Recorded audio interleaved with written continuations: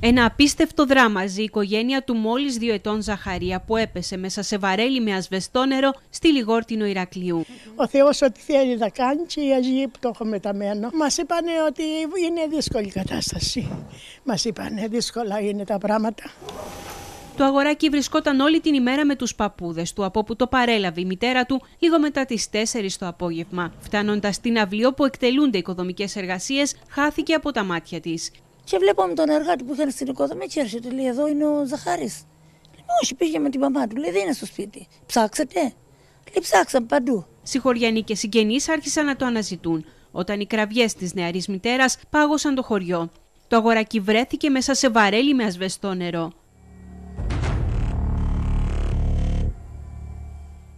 Είχε το βαρέλι δίπλα στο σπίτι της στην αυλή με το νερό μέσα μισό περίπου.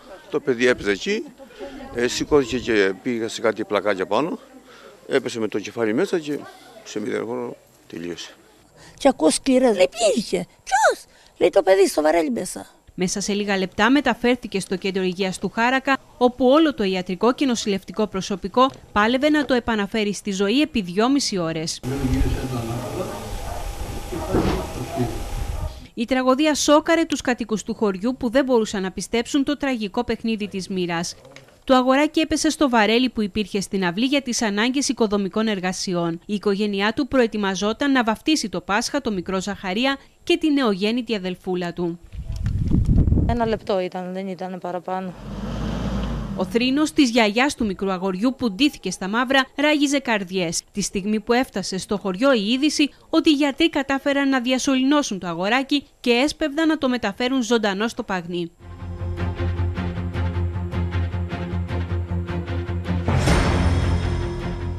Μετά μάθαμε ότι το παιδί πέθανε.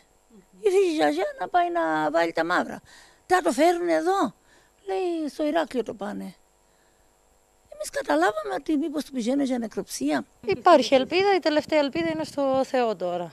Ότι αντέδρασε, υπήρξαν παλμοί στο καρδιογράφημα και περιμένουμε. Οι σκηνές που ακολούθησαν ήταν απόλυτα συγκλονιστικές.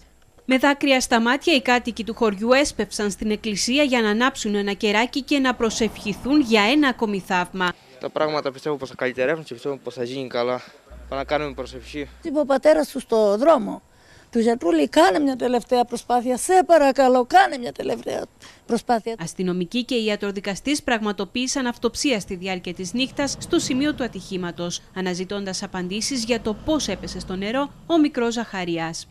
Επί ώρες αστυνομικοί αλλά και οι ιατροδικαστές αναζητούσαν απαντήσεις για το πώς μπορεί να βρέθηκε μέσα στο νερό το αγοράκι.